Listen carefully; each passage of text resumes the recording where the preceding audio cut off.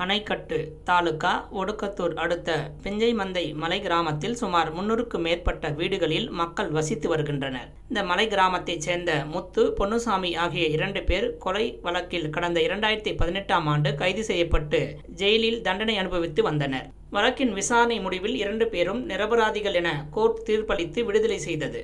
ஜெயிலுக்கு சென்று வந்ததால் இந்த இரண்டு பேர் உறவினர்கள் உட்பட ஐந்து குடும்பங்களைச் சேர்ந்த இருபது பேர் ஊரை விட்டு ஒதுக்கி வைப்பதாக பிஞ்சமந்தை நாட்டாமை தீர்ப்பு வழங்கினார். ஊரில் சேர்த்து கொள்ள வேண்டுமென்றால் குடும்பத்திற்கு ஒன்றரை லட்சம் வீதம் பஞ்சாயத்துக்கு அபராதம் கட்டிவிட்டு நீங்கள் ஊரில் இருக்கலாம் என்று கூறியுள்ளனர். பணம் தர வசதி இல்லாததால் முத்து மற்றும் பொன்னுசாமி உள்ளிட்ட உறவினர்கள் ஐந்து குடும்பத்தையும் சேர்ந்த சுமார் இருபது பேர் ஊரை காலி செய்து சொந்த நிலத்தில் வீடு கட்டி கடந்த ஆறு ஆண்டு காலமாக வசித்து வருகின்றனர். இந்நிலையில் பழனி மற்றும் பொன்னுசாமி உள்ளிட்ட ஐந்து குடும்பத்தை சேர்ந்தவர்கள் வேம்பங்குப்பம் போலீசில் நேற்று புகார் மனு அளித்தனர்.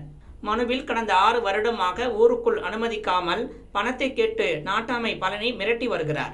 நாங்கள் செல்லும் வழியில் கொடிய முல்லை போட்டும் வழி மறிப்பதோடு குடிநீர் குழாக்களை உடைத்தும் கோவிலுக்குள் செல்ல அனுமதி மறுத்தும் துன்புறுத்தி வருகிறார். பணம் கேட்டு மிரட்டும் நாட்டாமையை கைது செய்ய வேண்டும் இவ்வாறு அதில் கூறப்பட்டுள்ளது. ஜவ்வாது மலைத்தொடர்களில் வாழும் சுமார் நூத்தி இருபது மலை கிராமங்களில் இதுவரை ஓரானுக்கு எதிராக எந்தவித புகாரும் போலீசில் கொடுத்ததில்லை என்பது வரலாறாக உள்ளது. இந்த நிலையில் தற்போது முதன்முறையாக மலைவாழ் மக்களே ஓரானுக்கு எதிராக புகார் கொடுத்திருப்பது குறிப்பிடத்தக்கது.